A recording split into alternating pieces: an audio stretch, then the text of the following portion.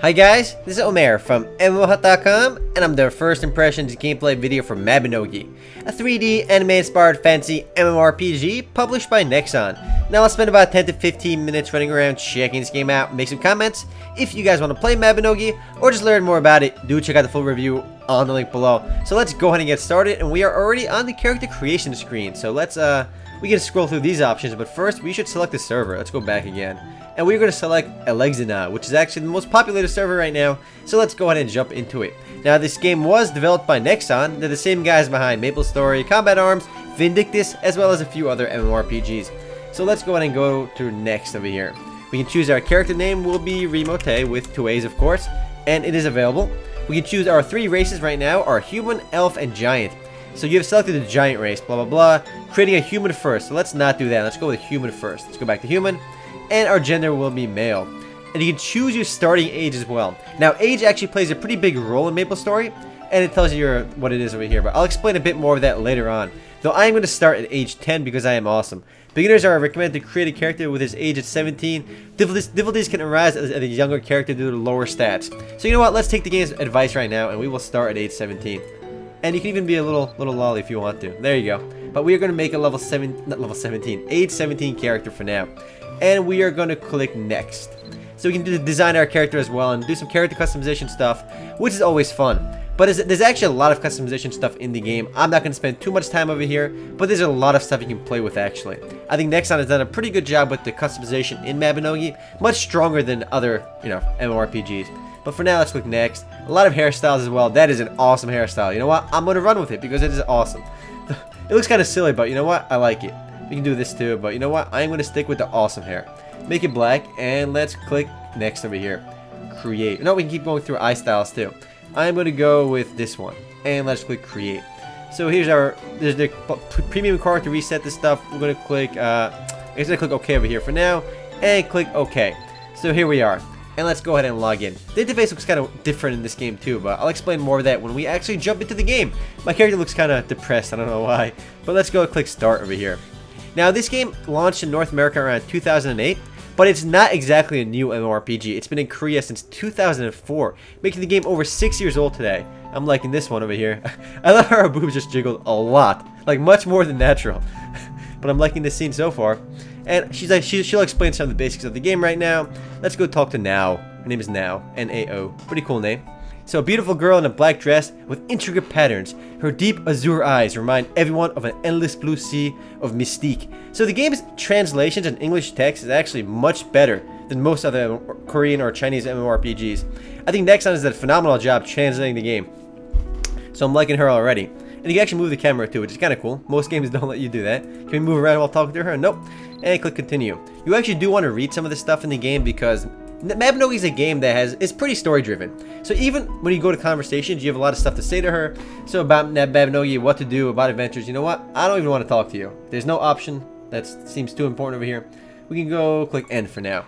So most of Erinn's residents live in a continent called Uladh.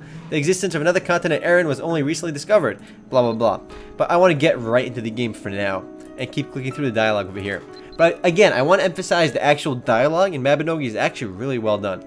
And you, there's a lot of text too in the game if you talk to NPCs, but it shows you the game is pretty well developed. Even for an older game, they did a really nice job refining some of the finer points. I mean, visually the game still doesn't look that... Let's go click over here. Visually, the game isn't anything special. Click yes over here again. Though the art style is unique as well. You have the anime-inspired graphics, but a lot, almost everything in the game is, has been hand-drawn. So it kind of shows too with, with the art style of the game. But click continue for now, and she is still talking to me. So I gotta talk to Chief Duncan. He's in this east of the square. So we'll continue over there. And I'll basically give you some starting quests and things to do early on. The game is called Mabinogi Fantasy Life, and it's a bit more open-ended than other games as well. Now, I'm not going to say it's completely open-ended, but you saw on the character creation screen, I didn't actually pick a class. So the game has a classless system. It's a skill system, actually, and they do it really well. So we got an awesome, uh, awesome intro movie over here, Hold My Hand. And it is developed by DevCat, and the same guys behind Mabinogi Heroes, also called the Vindictus. But I am not going to watch this for now, though. this song is pretty cool. The in-game music in Mabinogi, Mabinogi is pretty impressive as well. And I know I'm gushing about the game right now, but it's a it's pretty well-respected game. Though it's a game not everyone's going to like. I mean, I can I like the game's the game's uh, unique music, its depth, and there's a lot of content in the game too, which I'll talk about later. But hopefully I can get started soon. But it's a game that I feel a lot of uh, a lot of newer people, new age gamers, or compared to a lot of newer games, visually the game isn't that impressive, and that that is a big deal to a lot of people. I mean, a lot of people say you know graphics don't matter, it's all about gameplay, but we say that sometimes, but we you know still, it's hard to get us to play games with you know lower tier graphics. But it's a game that will run pretty smoothly on older PCs as well. So we can we can almost get started over here. Like my, my character's awesome walk over here. I'm not sure why this person's a guard. It's like a small person over there, a tin. I like his helmet, little dragon on it. Continue, continue, continue. Can I skip this? Oh, yeah, there we can quit the movie scene.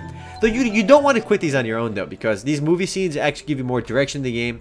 And now is letter of introduction. So we get 100 XP for doing that. Close that. I'm liking this over here. Book is the guide how to do blah blah blah. Close it out. Close the shenanigans out. I can handle myself. Ari, hello master. I am your helpful guide to Mabinogi and it's my job to lead novice adventurers. Blah blah blah. I'm liking my little fairy over here. And click continue over here as well until you stop talking to me. But the, the fact that the game does a lot of stuff to kind of introduce you to the game actually makes a lot of sense. Because Mabinogi is a lot different than Maple Story. It's not a game that you can just pick up and just start moving around and knowing exactly what to do. So is there anything you want to find out? In conversation, I can figure this out on my own for now. And Mabinogi is also a game that I haven't played that much. My brother has actually played it a bit more than I have. But I, I, should be able to figure most of this out. I've seen him play it before too, but it is a it is a much more in-depth game than a lot of other titles. And the, the, tutorials in the game and all the introduction stuff is appropriate.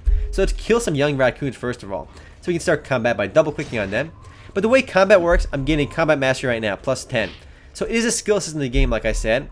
I just stab. It looked like I was stabbing myself through my hair. Let's go fight this guy still. Man, this raccoon is a beast. Look at him go. So let's attack him over here. Man, this raccoon keeps knocking me down. The combat system is actually a bit familiar if you've played Megaten from Aeria Games, though I think this game is quite a bit older than Megaten. But I say it's familiar because the combat actually requires a lot of skill. I mean, when you when you click enemies to auto combat, it just does the most basic attacks. But you want to time your attacks and your skills to sort of interrupt their attacks, and depending on how you do combat, it actually matters a lot. But right now, I don't think I have any skills anyway, so we're just killing some raccoons with our swords. So again, zero experience for killing the weak mob, but I am gaining combat mastery. So even though there is no set class in the game, you have a lot of skills. But you know what, this arrow really wants me to go down this way, so you know what, let's listen instead of killing these guys. So this way to town. So let's go down over here. There are roosters there as well. And we have another intro movie. I mean, this shows you right away that it's the production value in Mabinogi. I mean, especially for an older game, I feel like this just adds a lot of depth to the game and a lot of reason to play the game if you've never played it before. But click escape over here as well click OK over there as well. The game has a pretty nice soundtrack as well, which you might want to download if, if you're into game music. But let's click over here. This is center of Tir Chonaill, blah, blah, blah. So we're going to talk to this guy over here, at Duncan. Now, it's nighttime too and it's raining. The game has its own weather system as well. So an elderly man observes the world around him with an air of calm confidence. So again, guys, the dialogue is actually something. So click continue as well. Though, when you get started with the game, there's a lot of uh, a lot of this dialogue going on before we can even do anything.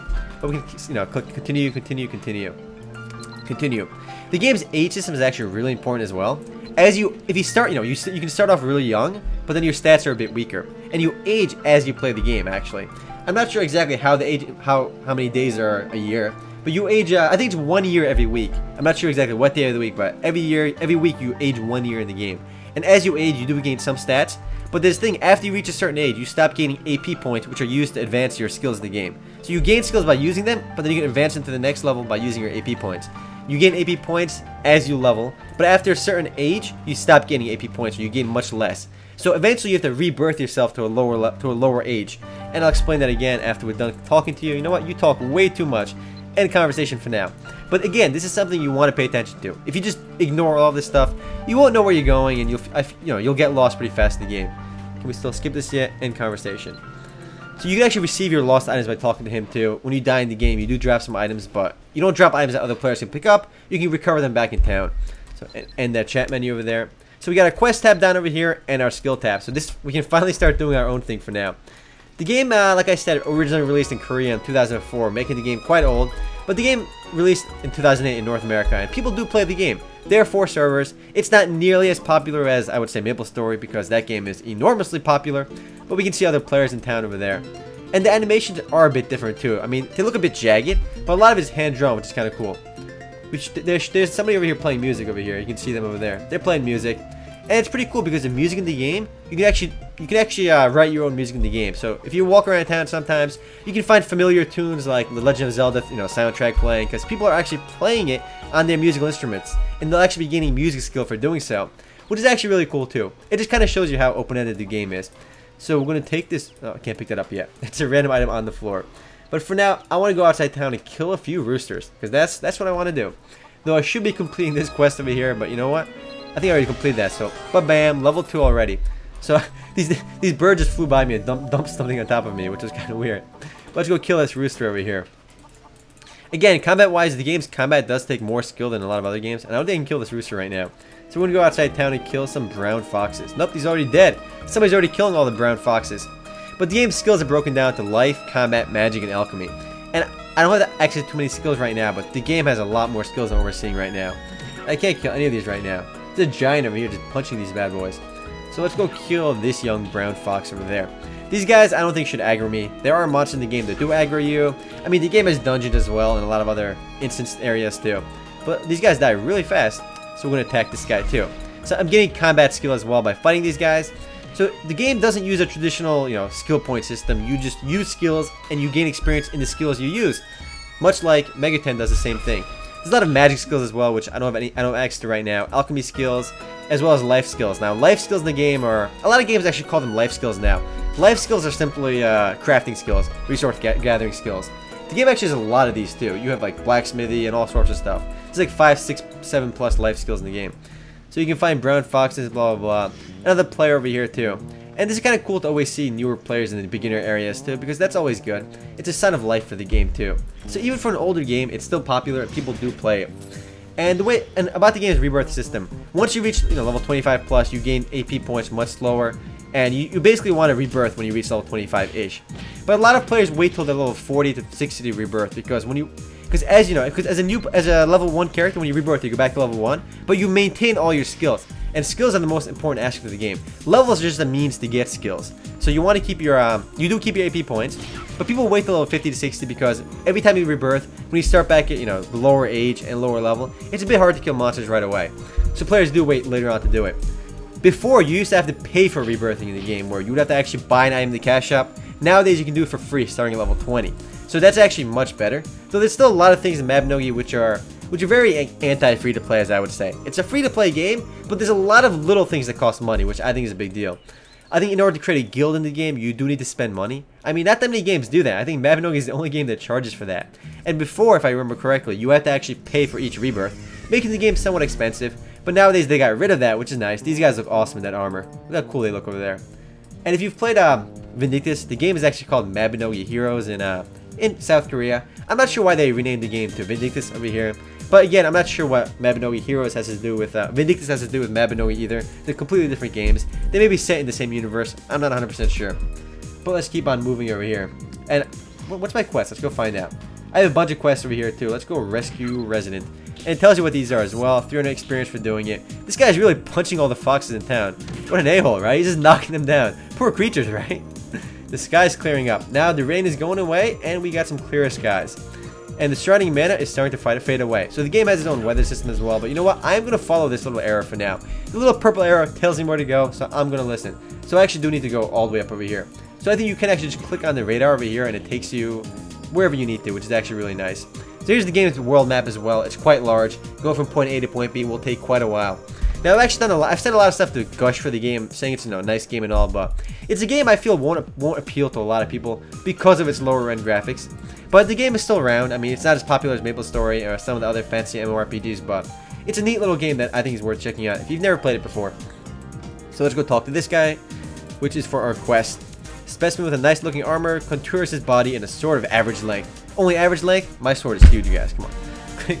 I'm only referring to my sword in game, of course. So welcome, I am Trevor the Guard. And let's continue over here too. Now one of the game's strongest aspects, I do have to mention this guys, is the game's content updates. Like Maple Story, Nexon does an awesome job keeping this game up to date. It's gone through like countless, countless, count, uh, countless, countless content updates now. There's so much new dungeons to the game, so many new aspects of the game that, that, that gets introduced with these content updates. I think they're called generations or seasons in the game, and they're up to like 12 plus of these. So there's a lot of lot of stuff being added to the game regularly. So again, showing you the game skill system, you want to use your combat skills in battle. So again, you want to use your skills at certain times to interrupt enemies' attacks. So that takes skill too. But guys, I am running out of time. There's a lot more I wish I could talk about. But if you guys do want to play Mabinogi or just learn more about it, do check out the full review on MMOHuts.com. Later, guys.